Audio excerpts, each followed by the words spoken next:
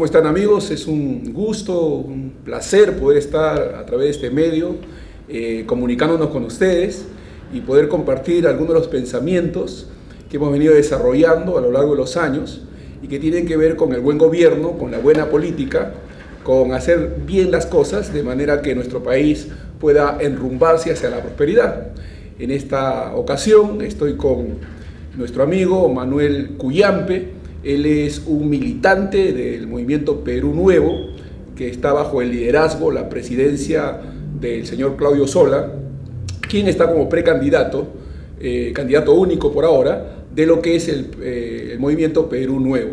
Estamos muy emocionados, muy expectantes y voy a estar dialogando con él acerca de los avances, de las cosas que estamos haciendo y cómo se va desarrollando rumbo al 2021 estamos eh, plenamente convencidos de que eh, lo que nosotros tenemos como ideario va a permitir que día a día nos vayamos posesionando y vayamos logrando entrar en los corazones de la comunidad peruana para que podamos todos eh, nosotros ser gobierno y llevar a cabo lo que nosotros creemos va a traer prosperidad a la nación.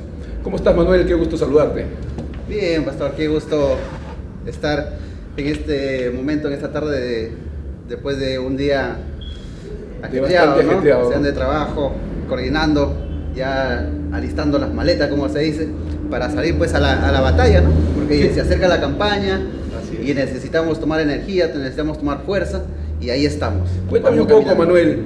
Eh, ¿Qué es la cosa que se está haciendo en Perú Nuevo? ¿Qué es la cosa que estamos avanzando en relación a la preparación de los cuadros, en relación al avance político en general y a lo que nuestro candidato pues está llevando a cabo?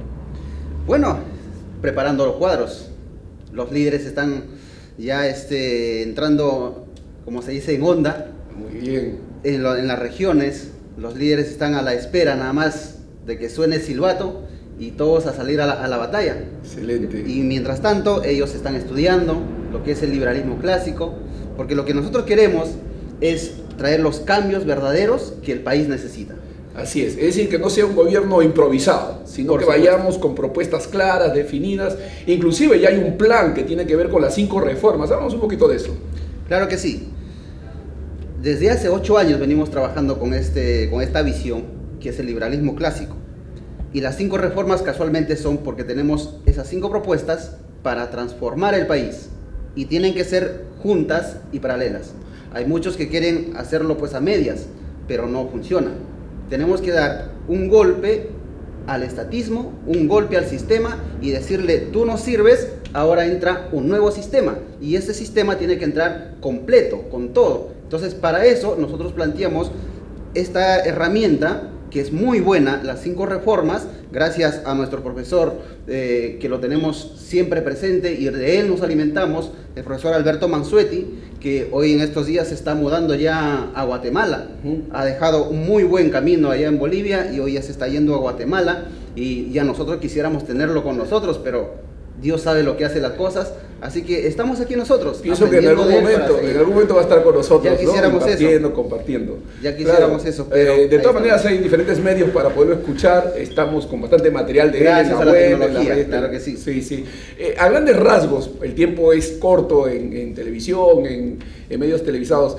Eh, dimos, así, así, a grandes rasgos, los las cinco reformas, así, este, ¿qué se está planteando? Mira, número uno, queremos cambiar la política. Esa es la reforma número uno. Una reforma política.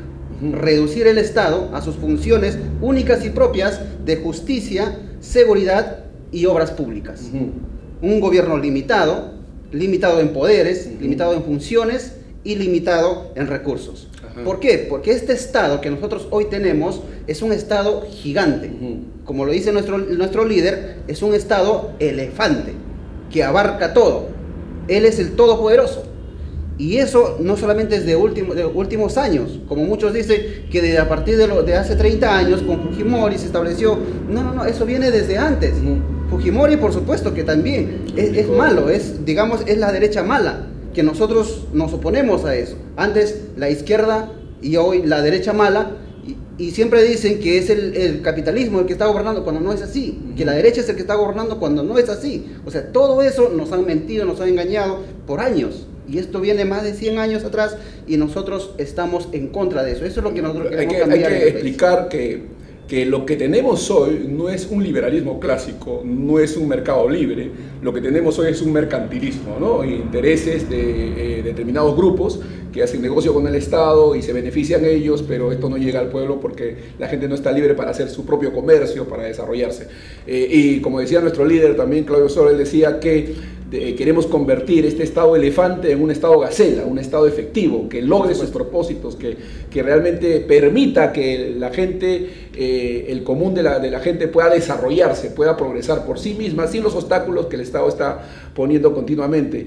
Eh, cuando hablamos del diplomado, de la preparación de, los, de, nuestros, eh, de nuestros cuadros, ¿qué avances tenemos? ¿Cómo ves el resultado en los alumnos, en la gente que se, se va preparando?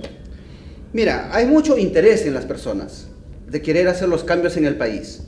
Y gracias a, ellos que se han comprometido a, hacerlo, a unirse al, proyecto, al proyecto La Gran Devolución y a traer los cambios que el país necesita. Pero esos cambios se tienen que ir con preparación de la mano.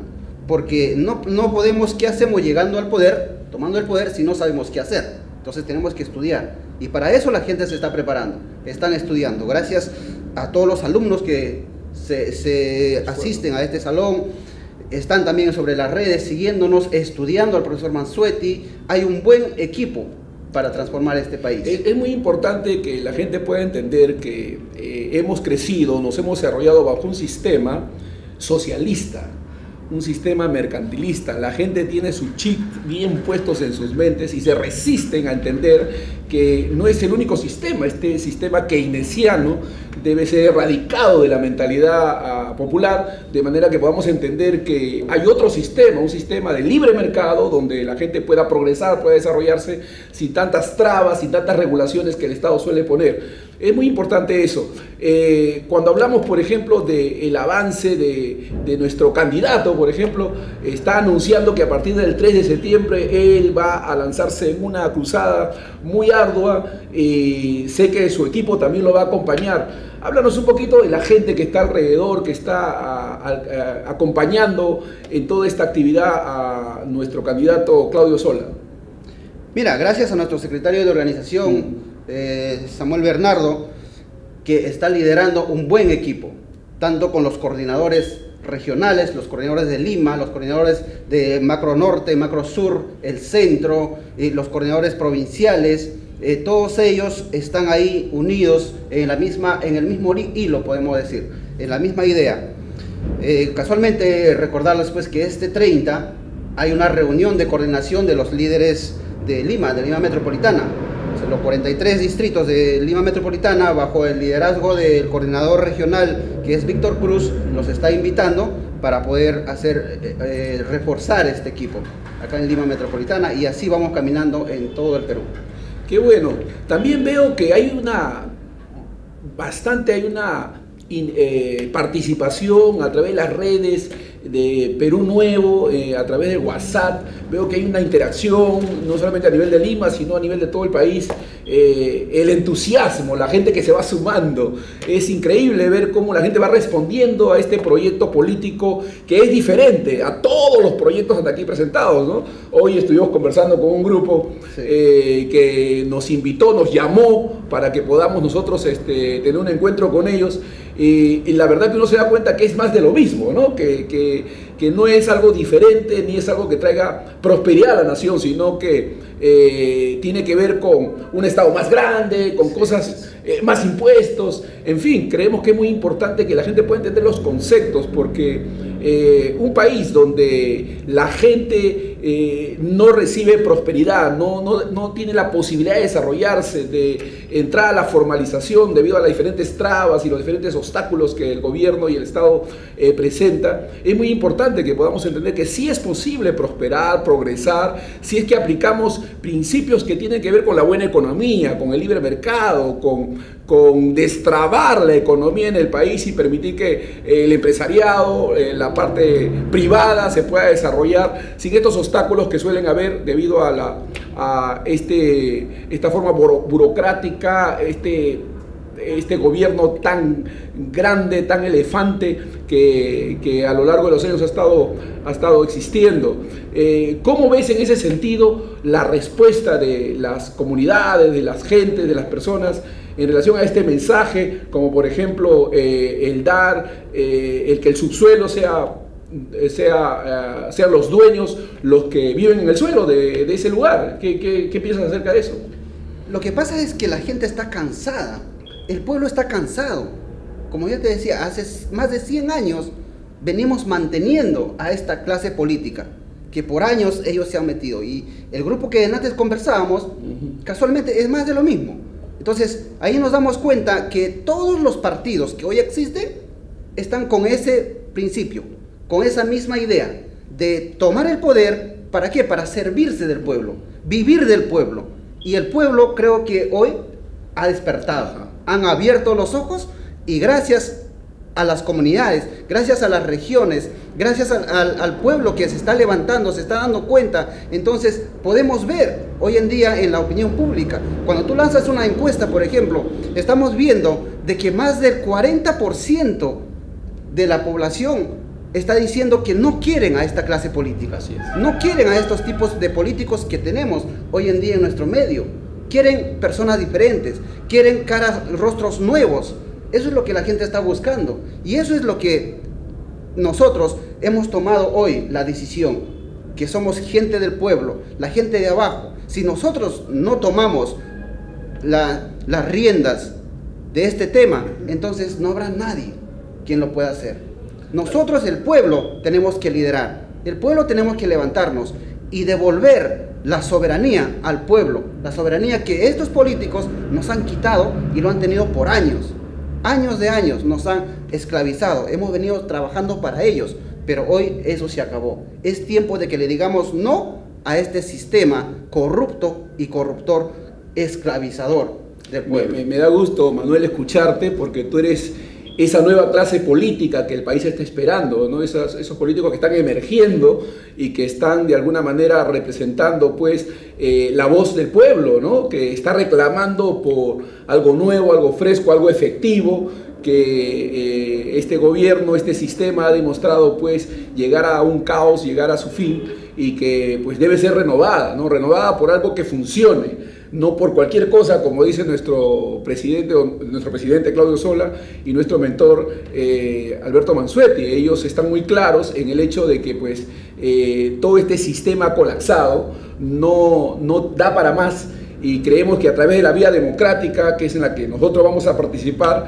para hacer gobierno, creemos que las cosas van a cambiar. Estamos eh, muy convencidos de que este mensaje está calando en la comunidad, en la sociedad, porque eh, lo que nosotros eh, planteamos son cosas razonables, tienen que ver con el sentido común y estamos hablando de un capitalismo para todos, no, no un capitalismo en realidad que solamente esté centrada en un determinado grupo de, poder o un grupo determinado de interés económico, sino que para todos, sin privilegios para nadie. Eso es muy importante resaltarlo porque es esto lo que va a ayudar a que nuestro país prospere. Eh, yo como pastor, eh, las escrituras a nosotros nos enseñan muy claramente que Dios nos da el poder para hacer las riquezas. No puede haber distribución de riquezas donde no se haga primero las riquezas. Y Dios nos da el poder, nos da la sabiduría, la habilidad, la capacidad, la destreza, no la ingeniosidad para producir esas riquezas pero necesitamos pues destrabar la economía, ¿no? Este, dejar de eh, quitar esas regulaciones, eh, aquellas cosas que impiden que la gente prospere, ¿no? Esos aranceles, esos, esas prohibiciones al libre mercado que impiden que la gente prospere y que solamente beneficia a un determinado sector. Creemos que es muy importante, creemos que la coyuntura, todo lo que está pasando, está realmente abriéndonos camino para lo que eh, hemos aprendido nosotros no estamos inventando nada, estamos simplemente reconociendo aquellas cosas que hacen que la riqueza pueda ser producida, porque la riqueza se produce. Esto es muy importante que así se entienda.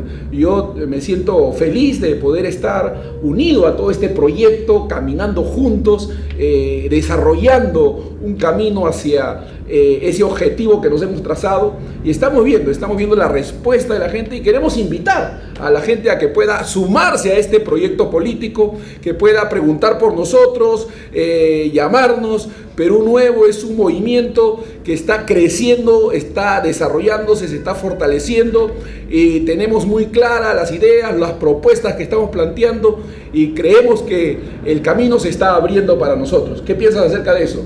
Claro que sí. El pueblo clama por cambios verdaderos, cambios de fondo. El pueblo grita que se cierre el Congreso. Otros dicen que se vayan todos. Yo también digo lo mismo, que se cierre el Congreso, que se vayan todos. Porque toda esta clase política ya está podrido, ya caducó. Pero yo les digo, cerramos todo, que se vayan todos. Pero ¿a quién le ponemos? ¿Quién sube? Claro. ¿Dónde están los suplentes? ¿Quiénes son? Así es. Entonces en eso tenemos que preocuparnos nosotros y nosotros, los buenos, tenemos que prepararnos para tomar el poder, para tomar las riendas. Porque ellos salen y ¿quién entra? Así es. Y para eso nos estamos preparando. Entonces, a toda esa gente que clama por los cambios, de igual manera los invito, preparémonos, vamos a estudiar qué es lo que al país le ha hecho tanto daño y cuál sería la solución. Nosotros tenemos esta alternativa conocemos el liberalismo clásico y queremos compartir con todo el pueblo. Es algo que a los países del mundo los hicieron prósperos, los hicieron crecer, ellos aplicaron en su oportunidad y eso es lo que queremos traer al, país. Los invitamos, únanse a este proyecto y vamos para adelante. Esta, esta esfera de la política es tan importante, nosotros sabemos lo que está pasando en Venezuela, en Bolivia, eh, lo que está a punto de suceder en Argentina y sabemos que ese sistema eh, socialista, eh, mercantilista, no funciona. Al contrario, daña a las naciones, trae pobreza, trae escasez, destruye familias. el área de política del gobierno es muy importante en una nación y no podemos dejarlo en manos de impíos, de gente eh, eh, con intereses eh, creados, sino más bien en gente que pueda llevar a cabo un buen desarrollo. Eh, en la escritura está claramente, eh, dice que cuando un justo gobierna, cuando un hombre con integridad, con moralidad, bien entendido en la materia gobierna, pues el pueblo se alegra, el pueblo celebra. Y si es todo lo contrario, pues la gente sufre. Y es por eso que salgamos al frente, que batallemos, lidiemos.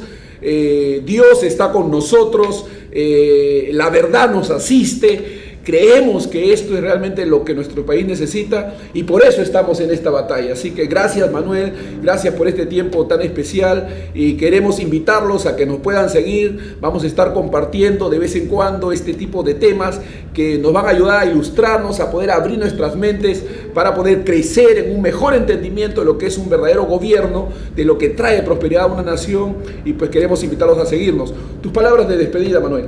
Claro que sí, pastor si nosotros no aprovechamos esta oportunidad, mañana puede ser tarde. Yo creo que este es el tiempo, este es el momento justo y preciso que Dios ha puesto para que el país, el, el país entero pueda salir de lo que estamos. Mañana puede ser tarde. Amigos, están todos invitados, vamos juntos a cambiar nuestra nación. Súmense a esta propuesta. Que Dios los bendiga y nos vemos en otra ocasión.